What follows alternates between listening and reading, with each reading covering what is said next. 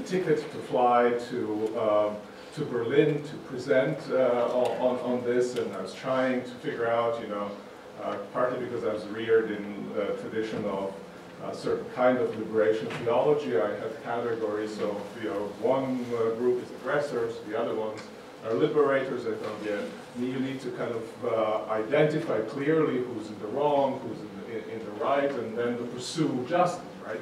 And once you put this uh, schema of uh, of um, oppression and liberation onto the, the, situation like Yugoslavia, you suddenly realize, you know, it just doesn't work. It works if you take a little segment of time and freeze it there, and then you, you see who the aggressor was and who the perpetrator was, and it was clear in that case who it was. Serbs were aggressors, Croatians were, uh, Serbs were aggressors, Croatians were victims, right? But if you extend the period of time a little bit more, if you look more in depth, you suddenly see that this picture is much more complex. And I was trying to force this schema onto the situation, and schema would not, would not work. And that's now a week and a half before I'm supposed to deliver uh, a paper in front of my doctoral supervisor, one of the great theologians of, of the time, Jürgen Moltmann, and all the rest of the Germans who are really kind of looking down their, their long noses about anything that's going on anywhere else in the world of theology because they think that they've invented theology, the mother of theology. this is how I felt then. This is this is completely not true in reality, right? Uh, and then it occurred to me to give up on this scheme of oppression and liberation, not to discard it, but to frame it and insert it into something larger.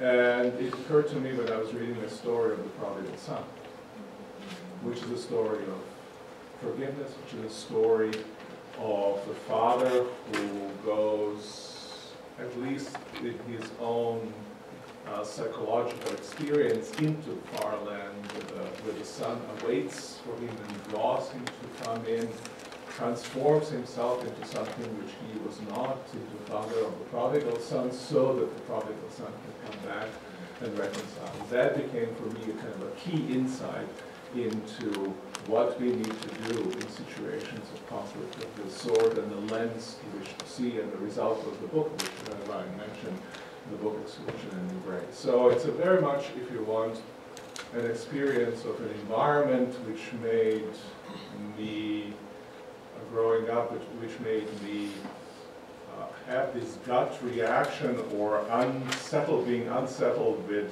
non-reconciling framework and then push to see the situation from different, uh, different angle and um, work from that perspective.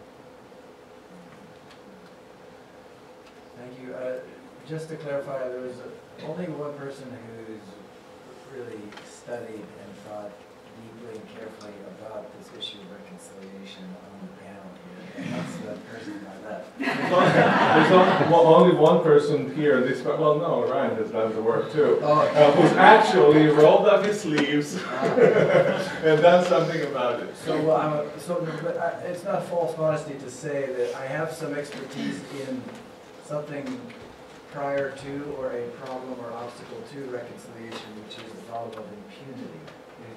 Um, uh, but I have had some uh, experience, personal exposure to this larger endeavor, aspiration of reconciliation. Um, and in fact, each one of the areas of injustice that I spoke to that had an impact on my life were definitely contexts of difficult struggle for reconciliation going to South Africa um, in the mid-80s in which white South African Christians were seeking reconciliation without abandoning the apartheid system. Um, there, there was also this very profound um, sense that also or teaching that I remember from uh, South Africa that reconciliation was not going to be possible at a distance. That reconciliation required this embrace, right? It's, it's incarnational. um, and that, again, white South Africans wanted reconciliation, many did, without actually having to get close. And just that that was not possible. Uh, also in, in Rwanda, obviously, my experience there was, certainly the way in which mass atrocities can overwhelm our capacities for reconciliation.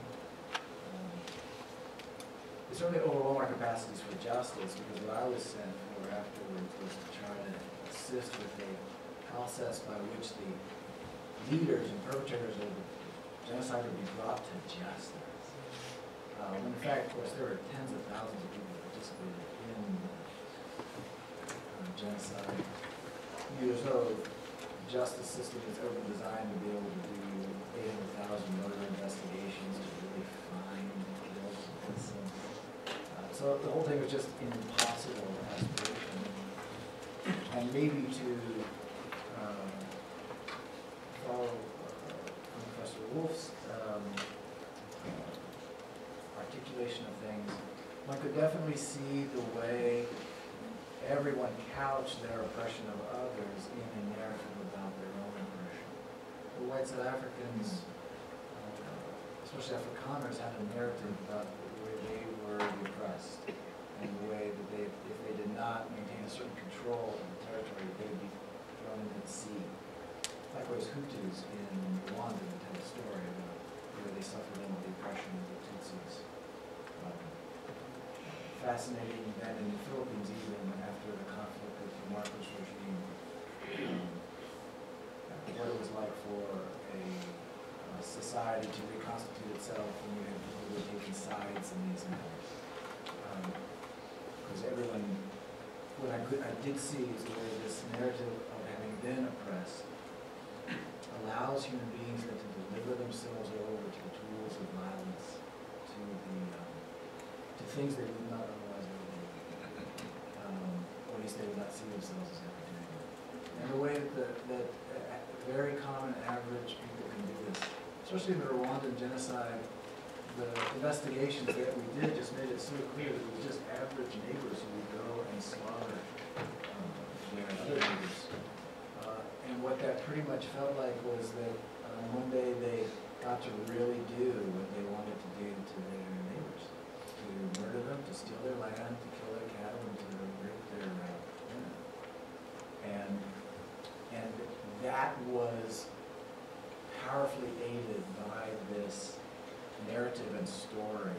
It was now time for the Hutu to definitively protect themselves from the Tutsi, to get rid of the cockroaches, to regain what was rightly theirs.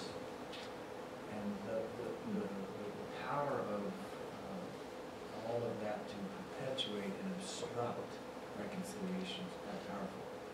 But also just observe that um, we deal a lot just in our work with these individual victims of horrific uh, violence. And um, this idea that reconciliation can, or peace can be sought in a, or achieved in the context of impunity, that is which there is no accountability. Um, and in fact, um, no punishment for wrongs that are done is, is highly problematic. Um, finally, um, one of the most beautiful pieces of mysterious reconciliation of the sort that I've had to observe is we do thousands of cases of child sexual assault. And we therefore have hundreds and hundreds of uh, babies that are born as a result of rape. And especially in these uh, various cultures, to see a father's reconciliation to a child who is assaulted or daughter what it takes uh, to be able to find wholeness and peace in the midst of that. Um, Your twelve-year-old daughter has been raped, she now is going to have a baby, and now you must live with that baby in your home as the father, as another grandfather. We've seen this hundreds of times, and the extraordinary um, challenge, but also mysterious love and glory that's manifest in which that uh, reconciliation is actually possible. It's hard to figure out what to ask next. I suppose you you mentioned impunity twice, Gary, and um, curious, since, since you have experience with South Africa, um, my experience in post-conflict uh, situations has mainly to do with Guatemala. And both of those places, uh, in their different ways, tried to move beyond conflict uh, by, well, in South Africa's case, it was very clearly called amnesty. Uh, I'm curious if you think, you know, what's, what's the difference between amnesty and impunity, if there is one? Um, What is the role of punishment in reaching towards peace? Um, Yeah, if you could reflect a bit on that. I speak of impunity as the social certainty that you will not be punished for an act of violence.